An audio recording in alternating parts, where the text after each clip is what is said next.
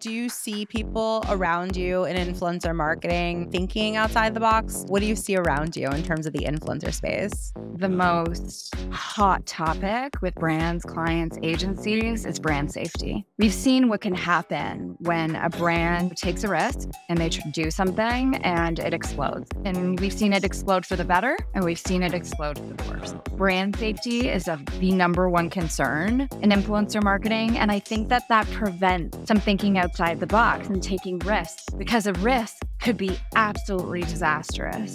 So I would love to say yes. So many brands are taking a risk and they're doing really innovative things and they're thinking about at least this practice in different ways. But right now, I've seen a lot of brands kind of go back to the basic.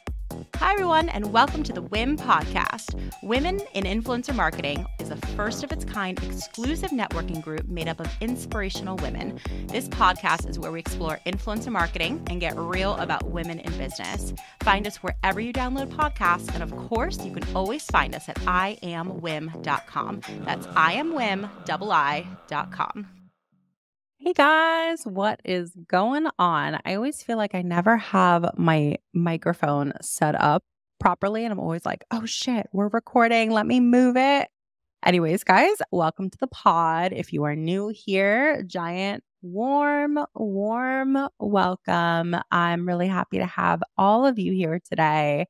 Today's episode is an interview episode, and it is particularly good I was literally tearing up towards the end. Yeah, we talk about everything. I mean, from influencer marketing strategy, that was not bringing me to tears.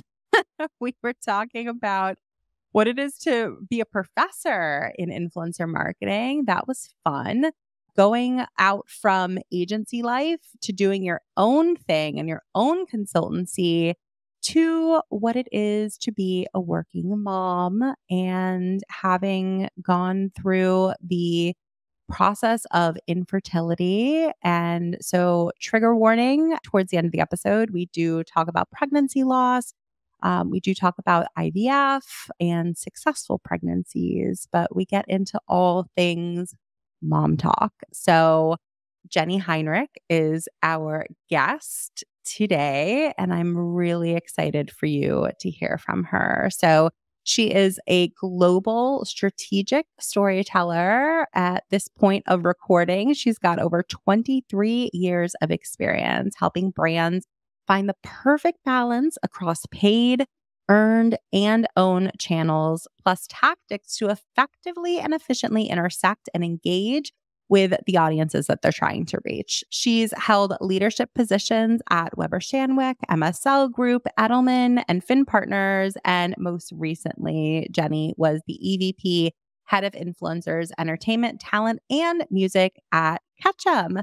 She's also an influencer marketing professor at DePaul University in Chicago, where she teaches students in a first of its kind course that she designed helping develop the next generation of influencer marketers. I think it's so dope that she's a professor.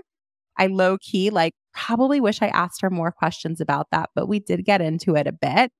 I'm so curious about it. I'm hearing more and more women who are like becoming professors at universities. What an interesting path to go down. And she's an adjunct professor. So she's doing it in real life professionally. And then she's going in and having students who probably eat up every single thing that she says, because I was eating up everything that she was saying during our conversation.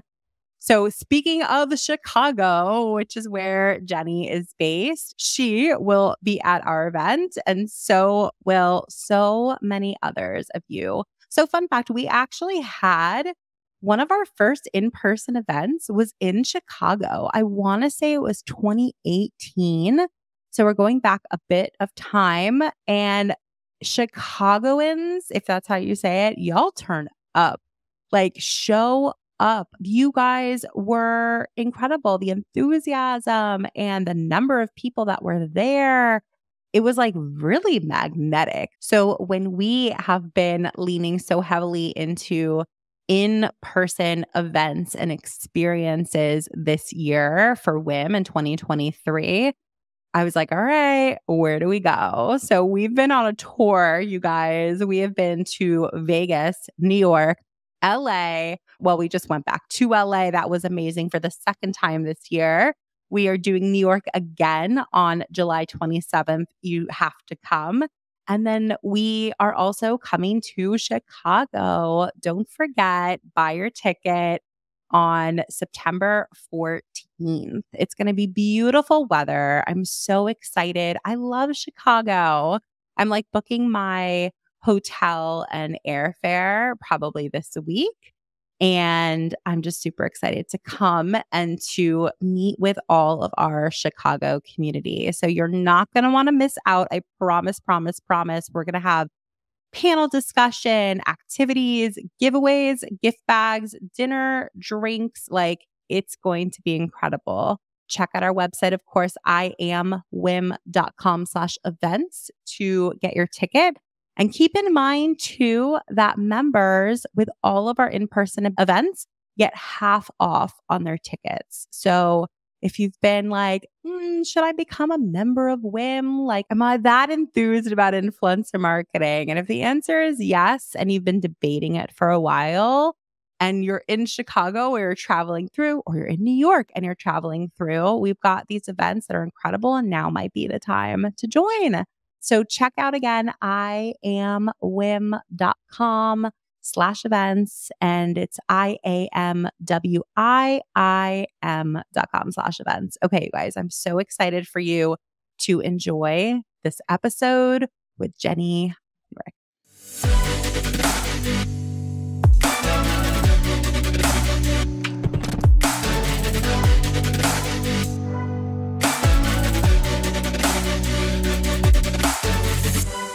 Welcome to the pod. It's really nice to have you here. How's it going today? You know what? The sun is shining. It's been so, so summer weather over here in Chicago. So today's a great day. Thanks for having me. Your hair looks fabulous. I was going to say, I hope everyone's watching the video version because your hair looks amazing. Well, thank you. I've been called, you know, the Carrie Bradshaw lookalike. I'm a tiny mm-hmm. little human. I've got this giant big hair. I love the humidity. So thank you. I hope that it's showing up well for my podcast appearance today. It is. It definitely is. And I've been like looking forward to our chat today. We've been like, I don't know, we've gotten to know each other the littlest bit, just like online. And it's really nice to sort of put a face to an online presence and just sort of get to know you today. And um, I'm excited for our audience to get to know you too. So, we heard a little bit about you on paper in the intro to the show, but I personally love to hear it from the person directly. And I also want to like take it back, like further from, you know, what's on paper beyond that. I want to hear a little bit about Jenny as a kid and like how you think it shaped you as the professional that you've become today. Well, Jenny as a kid is very similar to Jenny as a grown up, or a grown up as I call myself now. Um, I've always been a storyteller. I come from a really long line of storytellers. You know, I like talking. I like finding out, you know, what makes other people tick and I like connecting with people. So I think, you know, that's directly representative of what I've done professionally because influence is all about storytelling. It's about content and it's about connection. So that's kind of the first thing that I thought about. You know, I was always the one to ask a lot of questions, sit and think about it, and then add my own two cents on top of that. So that, you know, is the first thing that I think of when I think of me as a kid. Are you an only child? I'm not. I have a younger sister who is quiet. She was a little quieter when we were growing up, which gave me, you know, center stage. Um, I love being on a stage. You know, I'm very outgoing. I can walk up to anyone, strike a conversation. I'm not shy. Shocking, I know. So I love doing that. I love being on the stage even now. You know, whenever I get an opportunity to chat and to connect with other people, I jump at it. The other part of, of me as a kid, which is translated really well to me as a grown up, is the strategist brain. I've mm-hmm. always been a strategist. You know, my parents will tell you that I was always looking for a way around, you know, the things that they wanted me to do. I would always, you know, kind of be a little bit argumentative, like, okay, well, this is what you want to happen, but have you ever thought of this plan? When I do that now with, you know, my clients, with Brands Direct, with my team, you know, the different agencies I've worked at, I really, you know, I listen, I kind of evaluate what people are trying to do. And then my strategist brain kicks in and I try to figure out the best way through it. So that's, you know, some of the ways that I've really translated me as a kid into me as a grown up. Do you also think like strategy does that also equate to you as like thinking outside the box i guess it doesn't necessarily but does that resonate with you personally absolutely i mean there's so many i call it the sea of same you know where a lot of people they go into you know their career they go into their personal and they just kind of want to go with the flow i was an absolute wild child really late too you know into my mid to late 20s probably longer than i should have been a wild child i was definitely thinking outside the box, doing things that probably I shouldn't be, that I would never let my children do. P.S. Um, but I, you know, I like breaking the mold. I like forging my own path. And, you know, all the team members, my students that I've mentored, I always encourage that too.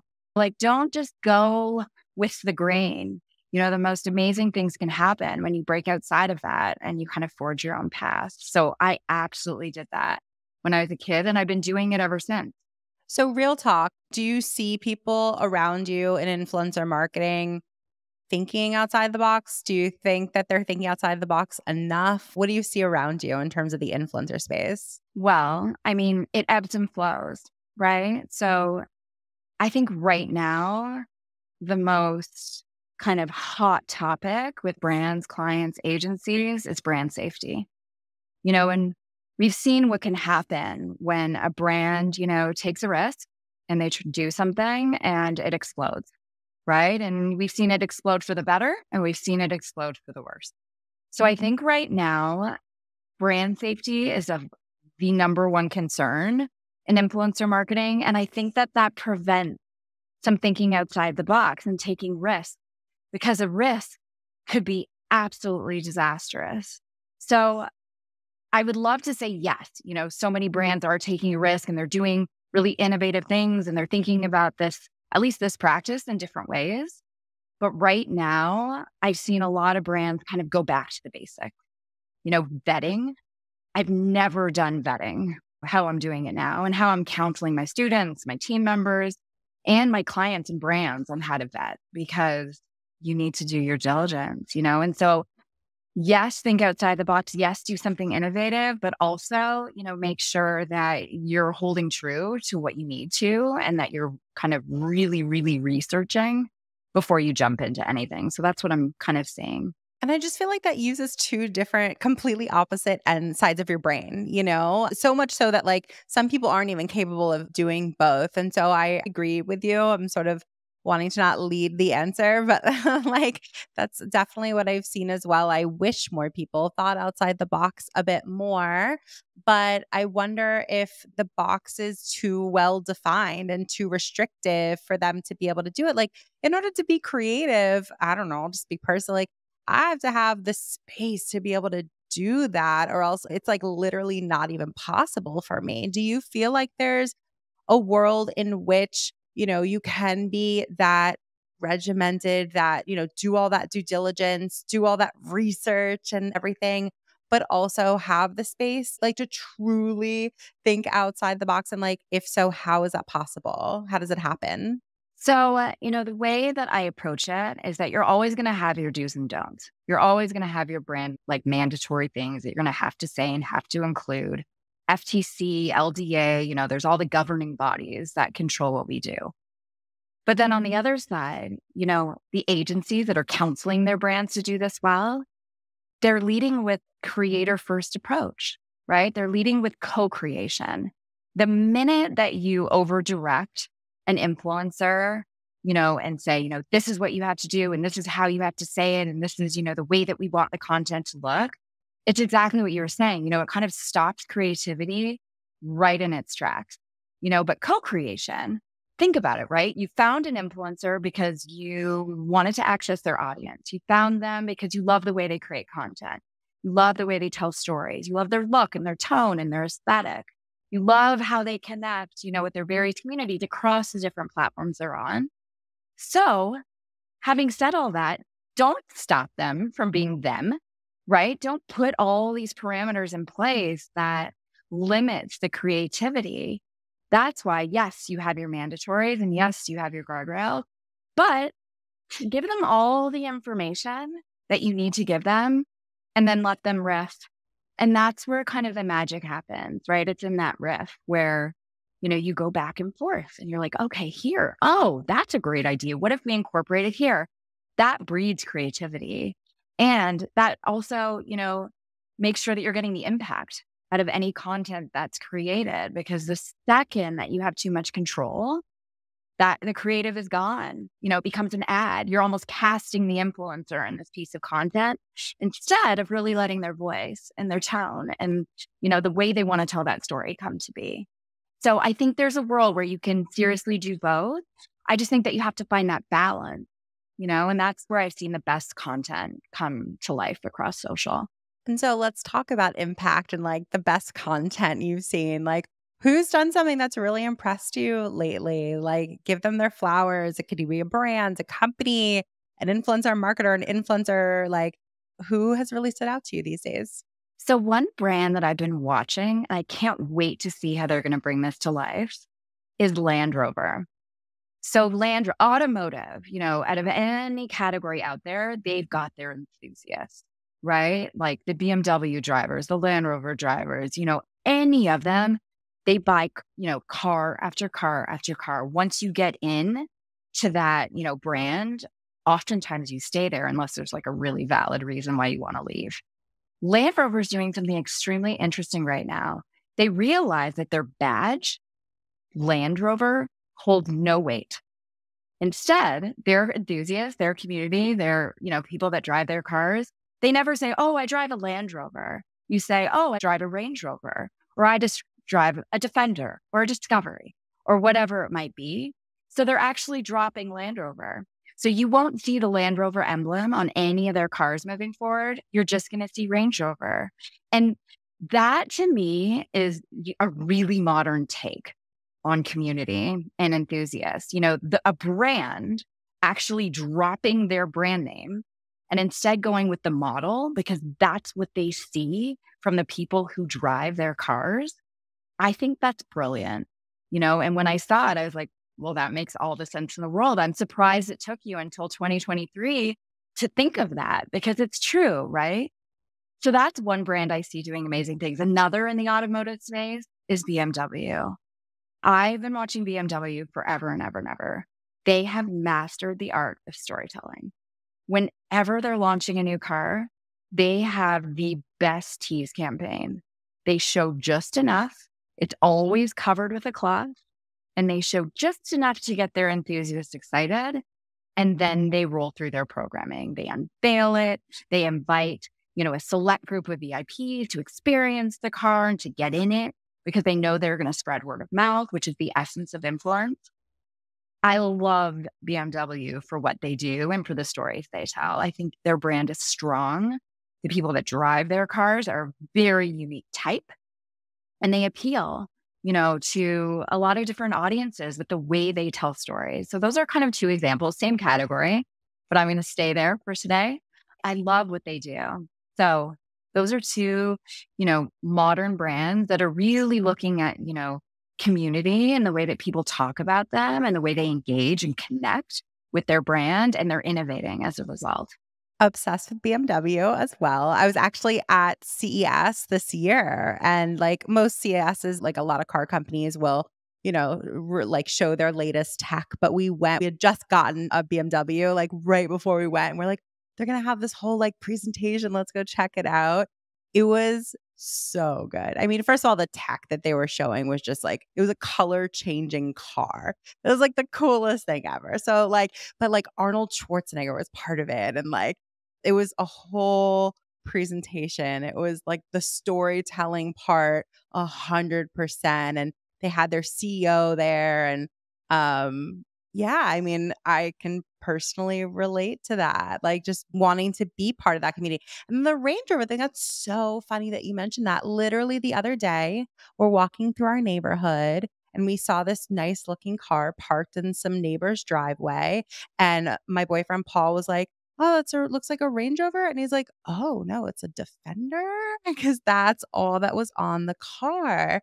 And like it makes you like think about it a little bit more too, because it's thinking outside the box. It's something that you don't see every day where you're so used to seeing, you know, BMW or Toyota or like whatever it is on the car. And you're like, Defender, like, do I know that? What is that? And maybe it makes you research it a little more and be like, oh, it's like something outside the box. I think it's really cool. And think about it this way too, you know, like the heart of what we do with audience.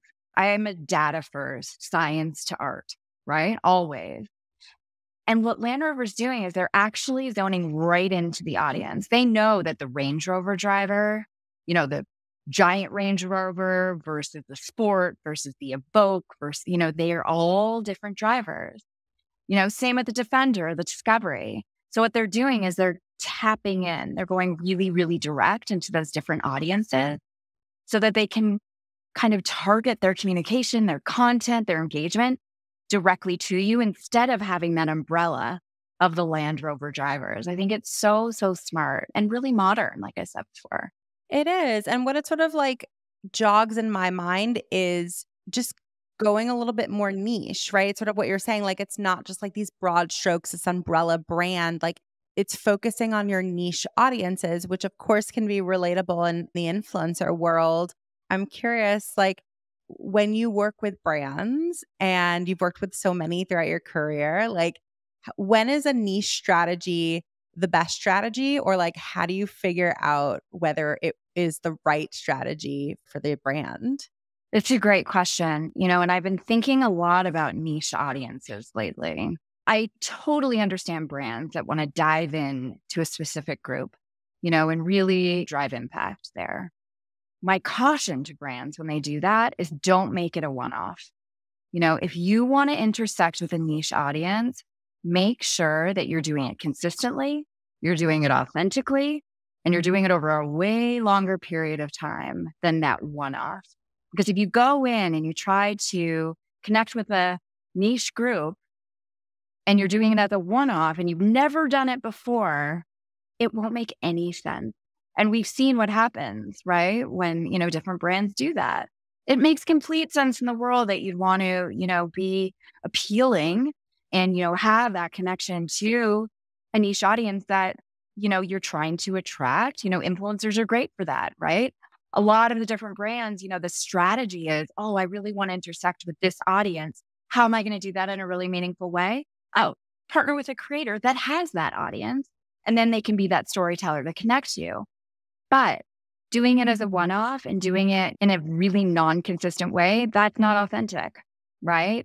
People see through that in a second. They're like, oh, that's marketing, you know? And I think that's the trick is that if you want to start developing that relationship with a niche group, you need to do it, you know, with a long tail. Do it with authenticity. Make sure that it aligns with the values of your brand. And you have to make sure the way you're doing it aligns with your broader audience.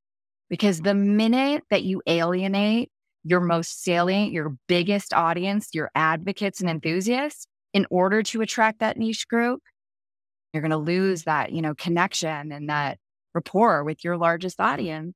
And they might come back and say, Hey, that's not okay with me. You know, we're here. We've been buying your products. We've been talking about you for X amount of years. And now I feel like you left me alone. So I think the best way to, you know, intersect with niche groups is to have it, you know, be a strategy and how do it trickle. So till you build that affinity and you build that trust, and then you continue it so that it doesn't feel like a one off that you're doing it, you know, in a specific season because that's what everyone else is doing. And it's like, no, that's not the way this works. Mm, that's so interesting. I've never really heard anyone's take on that, what you just said, which is you know, you don't want to forget about your most loyal people and like they feel abandoned or they feel like not as appreciated and they're they've been your most loyal fans and for however long they have been. But yeah, I think that like a lot of businesses, you know, you want to keep growing. There's such pressure to just continuously grow and capture new audience members and follow trends perhaps, which is I think what you were alluding to. And um I think that that's valid and maybe the way for it not to feel so performative is like you were saying just like incorporate it fully into your strategy like don't make it a one-off thing and also you know retain the focus of your firstborn you know don't forget about them they've been there since the beginning what how else do you think that brands can, you know, be better at influencer marketing? Are there certain traps that you see people fall into or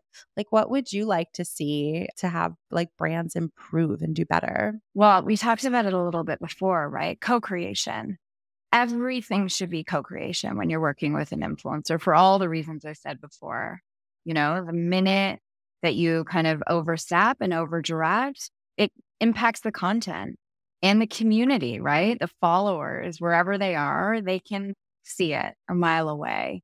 You know, I always tell my students when I'm talking to them, I'm like, look through a feed of an influencer, any influencer, and you'll immediately be able to see the piece of content where the brand had too much input because it doesn't look, it doesn't sound, it doesn't feel like that influencer anymore. And that content doesn't perform as well. Or the worst is when you see a bunch of the, uh, these influencers that you follow and all do the same post for the same brand and they all like sound the same. It's like so cringy. It's so cringy when you see that. It is. It's like canned, right? It's like, oh, I can read the brief. I knew exactly what the brief was that this influencer got delivered because they're delivering it exactly, you know, uniform across social. So that's one thing I caution, you know, always create. I think another thing that brands really need to look at is again the one offs or campaign focused activations. The brands that I feel like are doing the best really truly have an always on approach to their creator storytelling. You know, owned content, you know, the content that brands are creating themselves and posting across social will only get you so far, right? But that third party storytelling where you can have, you know, it mm-hmm. integrate into your own channels, that you have other people telling the story of your brand or your product or whatever it is you're doing, lean on that.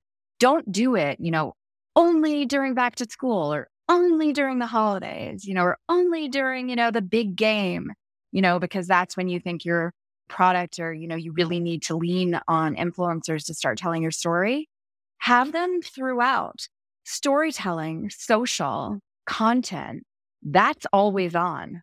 That doesn't stop. It's not seasonal. It happens all the time. And so should your approach.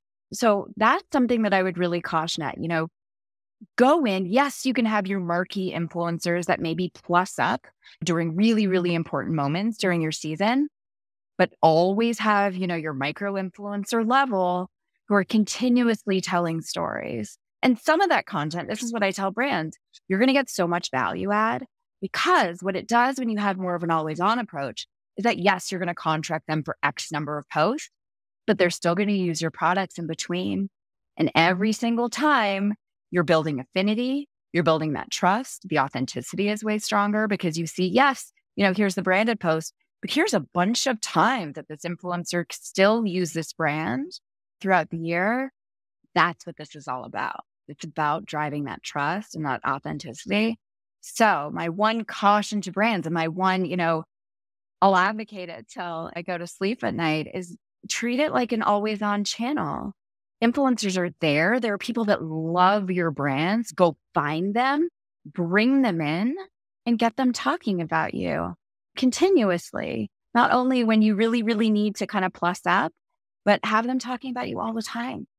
You know, those are some of the things that I've been telling brands, especially over the past few years since the pandemic, where digital usage, social media attention skyrocketed, the number of creators skyrocketed. Treat your content like that.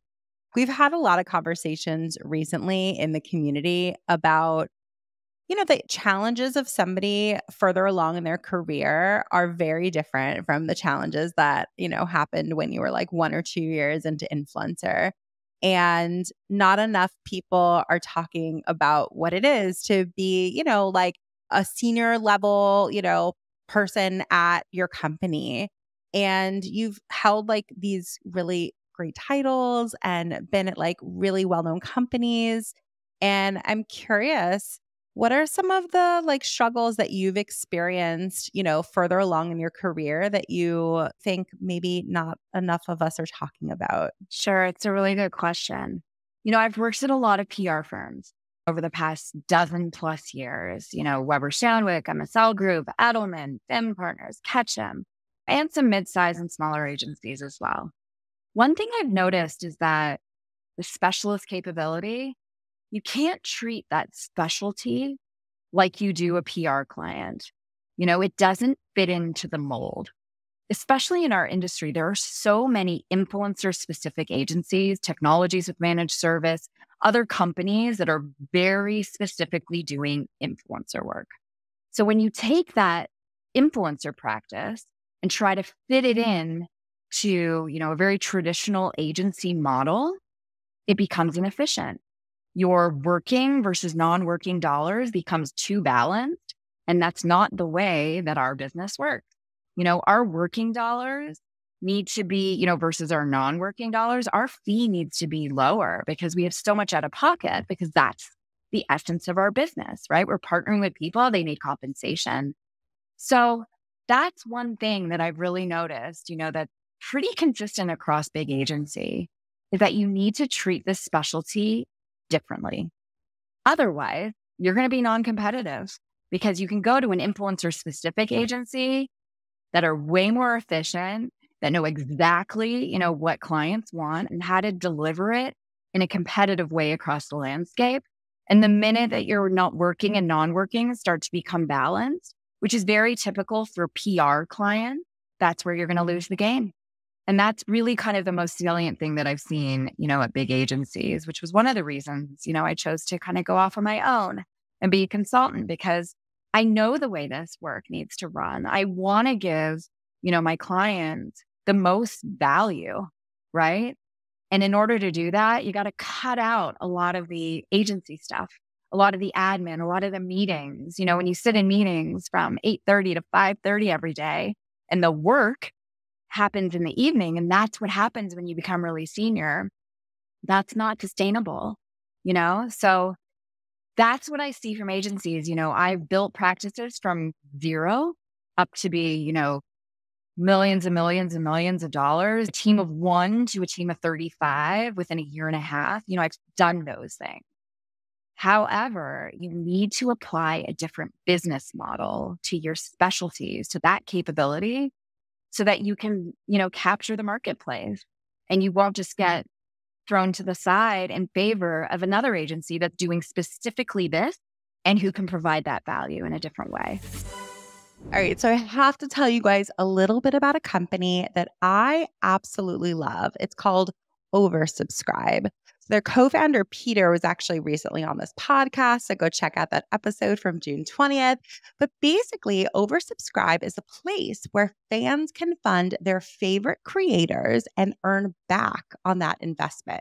So if you're a creator or their management, you should totally check them out. The million dollar question these days is always around growth how to grow, how to scale. And if you're a creator who wants to expand your business, but you simply don't have the capital to do it, let your fans fund it, the people who are already invested in you. Once the creator successfully grows their business from this investment and earns more based on that funding, the investor, the fans, earn from it too. There are lots of fans out there who would love to invest in their favorite creators, but they simply didn't know that they could so, subscribers now have a real stake in the success in a creator's business thanks to Oversubscribe. They can help them grow financially, which will then in turn make the content better, the quality of the content better, which will accelerate your growth as a creator just because you got some funding from the people who have already supported you for years. I think it's a really innovative idea. I love it. I want you guys to check out oversubscribe.co and just mention WIIM. That's oversubscribe.co and tell them Jessy from WIIM sent you. Hey, you. Thanks for listening to this episode. This show is sponsored by Women in Influencer Marketing, the best online community for the creator economy. You'll meet fellow influencer marketers, brands, and talent managers to talk shop, get hired, and even find a mentor. When you join, don't forget to check out all of our incredible resources. We also have dozens of masterclasses from the top voices at TikTok, YouTube, award winning agencies, and women who are paving the way for us all. If you want a chance to network with a who's who in influencer marketing, just check out what it takes to join the membership collective. Visit iamwiim.com slash join today. That's I-A-M-W-I-I-M dot com slash join and I'll see you around the community. So, are you excited that you're now doing your own thing? Like, are you nervous? Like, how do you feel about, you know, having worked for some of these huge companies with resources and, you know, lots of things that are just going to naturally come to you working at an agency? And now you're going off on your own. Do you feel like all of that has prepared you for where you are now? Do you feel like it was sort of the ultimate plan? Or do you feel like, you know, this was just a decision more in the moment and you're seeing if it's the right fit for you? Yeah, I mean, those are all great questions. I I've been working in influencer marketing for over 23 years and I teach it, you know, at the university level. I probably know this more than, you know, being a mom and being parents are like I know this like the back of my hand. You know, I feel really, really well prepared.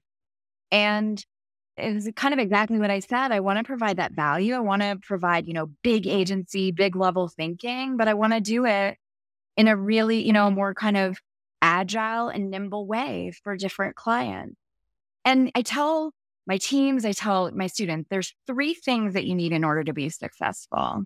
You need recognition, oftentimes, you need reward, and you need resources you know, for this practice, the best resource you can have is the most amazing tech, right? So as long as you have the most amazing tech, you can use it for discovery, you can use it for campaign management, you can kind of manage your business and your workflow in a really seamless way, you're ahead of the races. Being on your own, you know, there's less layers. You know, like I've worked at giant big agencies with a whole executive leadership team where oftentimes the reward and the recognition gets a mm-hmm. little kind of shadowed. So, you know, being on mm-hmm. my own, if I do something amazing, I'm going to get that recognition. If I do something terrible, I'm also going to get that recognition. But it's mine to create and it's mine to lose. And then reward, you know, I think reward is not just financial, it's not just compensation, it's not any of mm-hmm. that. I get reward from staying happy clients. I get reward from having amazing relationships with creators um, ones that have lasted for years and years and years because I'm wicked old and I've been doing this for that long. So I've seen them from like follower number five up to millions and millions of followers across channels. When you become really senior in agency land, you know, as the executive vice president, the managing director of all these, you get farther away from the work. And it's the work that I love. I love negotiating. I love doing influencer discovery. I love looking at the content and like you know, going back and forth with influencers. But as an executive vice president and the managing director of a huge global practice, I have a team of people who really focused on those things. And that's kind of been my world for the past however long. So the beauty of my consultancy is I get to do those things that I love again. You know, I get to become, you know, a senior account executive again, you know, doing the work that I love that I'm really, really good at. But because I'm so old and I've been doing it for so long, I can do it fast and I can do it with precision. So I'm giving the value to my client with like the expert thought, the quickness, the efficiency. But I also, for me, I get to go back to the basics of what got me into this industry in the first place. And it makes me so excited. So, for someone who is tuning into this conversation and they have like the entrepreneurial itch, you know? They're like, what Jenny's saying sounds good. like, I would love, you know, fill in the blank, whether it's that freedom or that ability to be nimble or to just feel the winds even more because they're yours to feel if it's your company.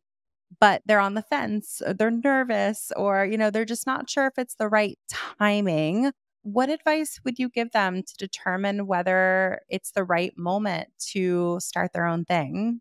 Is there ever really the right moment? You know, I remember when I was having babies, like, mm-hmm. well, I don't want to get pregnant now because X, Y, and Z. There's never a right moment. You just kind of have to jump in, really. You have to take a look at where you're at and what your pie looks like. What is the pie of work, the pie of family, the pie of friend, the pie of my interest? How is it all balancing? If you want to reshift that balance, this might be the right time to go on your own because you'll have more control of all of it. You know, there's been times in my world where work has been the biggest pie and all the other things started getting slivers. And that's just not a way that I wanted to live, right? I have three kids, they're all under 11. So, you know, I'm a mom life to the max over here. And I'm a professor and I'm a professional and sometimes a wife, no, always a wife, but you know, that's the one thing that ebbs and flows and how good I'm being as a partner. But those are the things that I wanted to fill my life with. So, you know, in, in a different balance, in a different way. So, this was the right time for me to go on my own.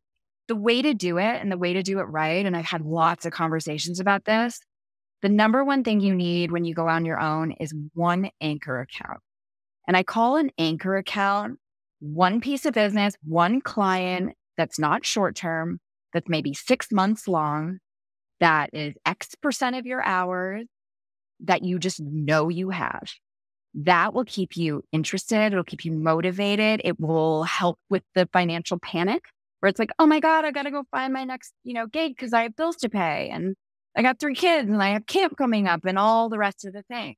If you have that anchor account, the minute you go solo, it will take a lot of that pressure off and a lot of that stress. And then if you've got that one anchor account, you then get to pick your projects that fill the rest of your hours, right? And those could be passion projects, those could be more seasonal and campaign based. But as long as you have that anchor, you'll be fine. You'll feel that security that you once had at your full time job, but you'll also have more bandwidth within your week. So then you can go fill it up with different things. That's my counsel to anyone that wants to break out on their own. Go get your anchor and then redesign your pie, you know, so that it fits with what you want to do and how you want to live your world.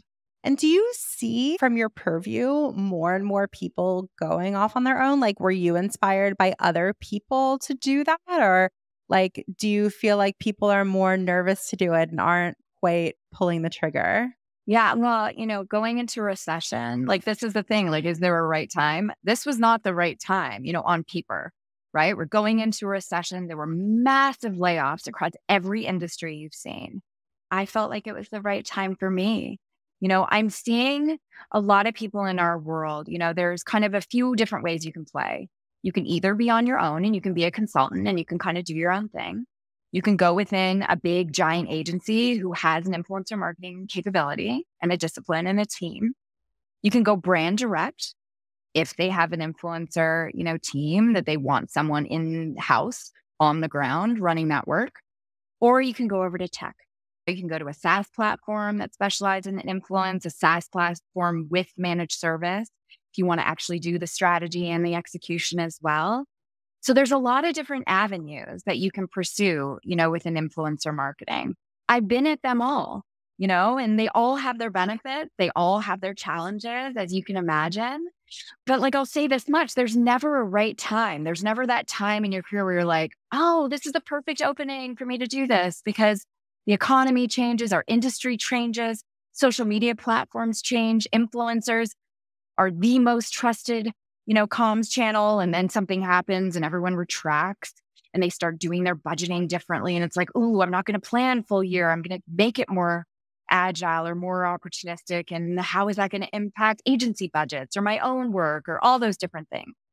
So I think that, you know, if you understand the landscape and you know what's happening in the world, think about that side by side with yourself, like with what you want to do and what fulfills you and where you want to play. Do you want to be in a big agency? You know, one of many? Do you want to be at a smaller mid-size where you might be able to wear more hats? And you might be able to, yes, drive the strategy and the execution and to have the relationships with the creators and do the contracting and all that stuff.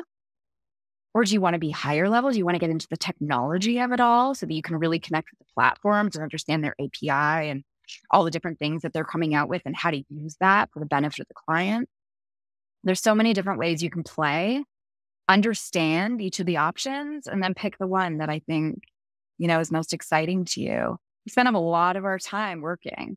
If you look at how much time you actually work, you know, versus how much time we don't, whoever thought of the five day work week, like, no, we could go back in time and rejig the week. But think about it. You know, we spend a lot of time doing this and a lot of years. So make sure it's something that you love. You know, you can taste test, you can go to a buffet and you can try them all out. But I tell my students, you know, in your 30s, taste test in your 20s. It's like dating, right? But in your 30s, you know, think about getting married. Pick which path you really like, settle down and dig in and then grow that. You know, it's like a relationship. Oh my God, I co sign that so much. Like, that is what your 20s are for. Like, my cousin, like, recently just graduated from college and she has a degree in marketing. And so she's asking advice. And I'm just like, try all the different things because you just don't know. I mean, I, I'm sure you have your own opinions about this, but I personally feel so strongly that like academia can feel like such a bubble and it's like its own thing. And oh God, like I wish I can go back to school as an adult. I feel like it would be such a different experience. Same. Like some of the classes that I took back then, I went to McGill, University of Montreal, which is like super, super academic. But some of the classes that I took, because I studied cultural studies, I wish I could go back so bad. And like I, you know, I'm in a unique position that I do get to go to school because I'm a professor, you know, so I get to have that experience too. But from the flip side, and I can tell you this much, you know, the adjunct professor, which is what I am because I work in my practice alongside teaching it, the students are obsessed with the adjunct because you're not learning out of a textbook. You know, I remember the first year I taught at DePaul, they were like, okay, what's the textbook we need to order for the bookstore? I'm like, there is no textbook in influencer marketing, you know, back in 2018 or whatever year it was. I was like, I'm just going to bring my work. I'm going to bring the slides I create. I'm going to bring the case studies of work that I've done. You know, I'm going to bring real life stuff that I deal with every single day. And that's how I'm going to teach you so that when you walk out of my class, you can put together an influencer strategy. And I will say this much, especially my last quarter, some of the influencer strategies that my students put together blew me mm-hmm. away. I've hired my students, you know, based on their final. I'm like, oh my God, your final is amazing. Do you need a job? Yeah, come on mm-hmm. over. Because it's just phenomenal. Like even when you're going to more of kind of the th- theoretical schools and, you know, the kind of, you don't get that hands on experience like some of the, you know, more practice schools, be able to walk out of university and be able to like actually create an influencer strategy where oftentimes people that are already working in agencies don't know that and they need to learn that. Such a skill, such a benefit. So I love school. I wish I could go back.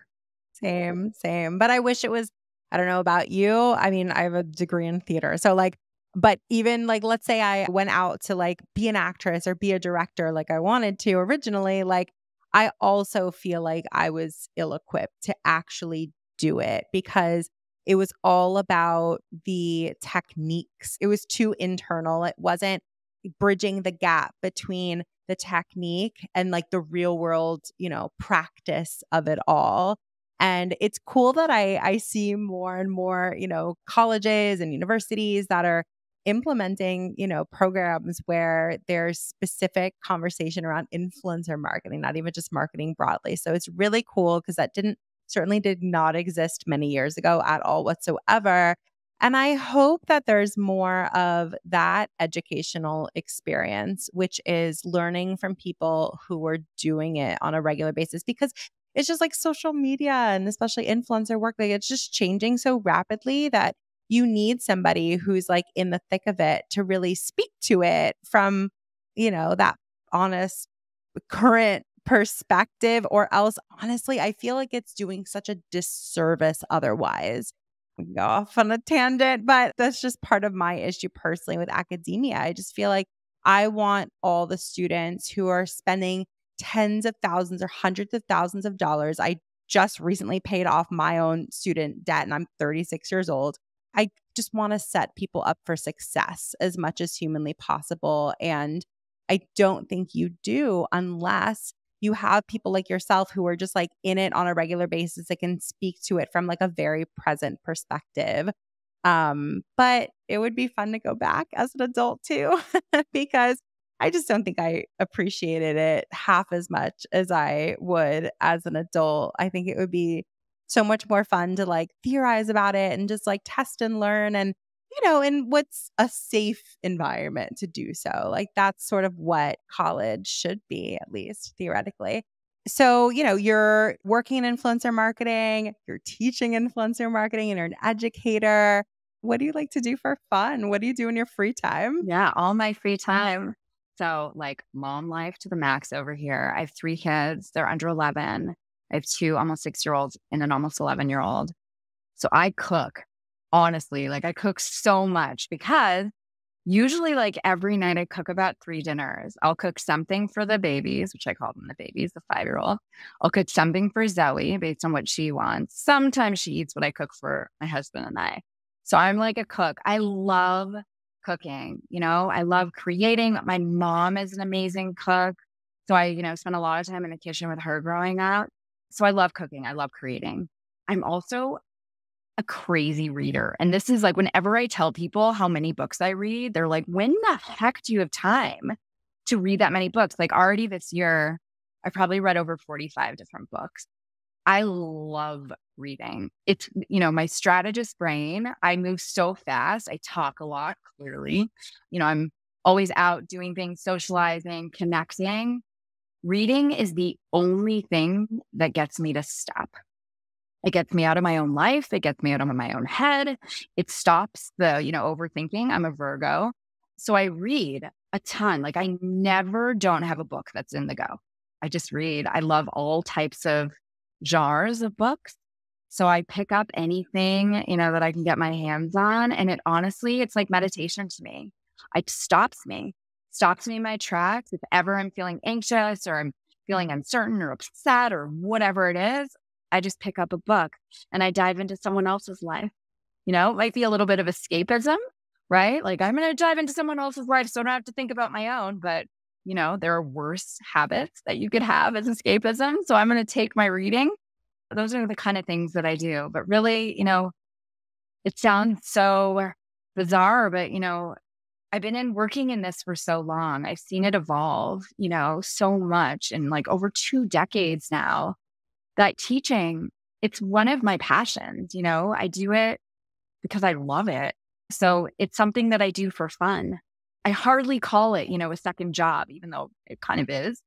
But it's something that I just love. I love, you know, mentoring, connecting with students. Anyone who has any questions about this stuff, I'm like, let's grab a coffee. Let's talk about it. So I love that. Those are kind of the things that I do for fun. I love shopping, unfortunately. Um, I'm not very good at it because I don't really go out as much as I used to, you know, ever since the pandemic. But jewelry is my jam. Talking about jewelry, you know, it's one of my most passionate, you know, kind of accessories, so to speak. But here's the weird thing about jewelry.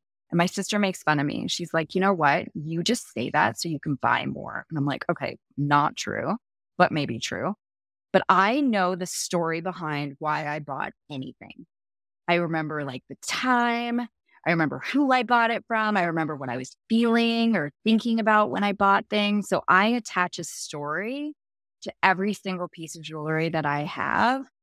And I love, you know, vintage and antique because they came packed with a story already. And then I got to create my own. So, yes, I love jewelry, but I love the story behind it. I like the meaning behind it. And it's a bit of like an emblem, you know, that you can kind of carry with you. You can pass it down through generations if it's that kind of jewel. And so I love that, um, you know, about jewelry. I'm not a very good accessorizer, but that's one thing that I, I do make sure is on point. No, I love that so much. And when it comes to kids, like, did you sort of envision yourself having three always? Where no, did you always want kids even? Yes, I always wanted to be a mom for sure, for sure. I kind of thought I would, you know, land at two, I have a really interesting baby story. I'm an open book. Clearly, you probably gathered that already. But um, you know, I miscarried twice before my first child. Her name's Zoe. And then I tried to have more babies after she was born. I couldn't. I couldn't get pregnant. So then my husband and I went through a giant IVF journey. We did eight rounds of IVF in four years, back to back to back. Midway through our journey, we got donor eggs because they said my eggs weren't good. And that could have been the problem why I wasn't getting pregnant. So we got donor eggs, we made embryos. I transferred a stack of them in me. I miscarried every time. And then finally, at the end of that, you know, I was like, okay, maybe my body is just like, no. So we then explored using a gestational surrogate to hold all the, the donor egg plus embryos that we had made. We matched with the most magical surrogate who was in Canada. We shipped her our embryos. She transferred one. And then three weeks later, I found out I was pregnant. So during 2017, I managed our surrogate's pregnancy, international pregnancy. I managed my own pregnancy. My sister also got engaged that year. So I was the maid of honor planning engagement parties, bridal showers, you know, bachelorette parties, and then her wedding. And we had two babies in 23 days. So that is the story of my almost twins. They're not twins, even though they're both five. Uh, they were born 23 days apart. So that's, you know, the story of my kids, you know, Mimi, who's the little one I carried, you know, our surrogate carried Leo. All my kids are magical.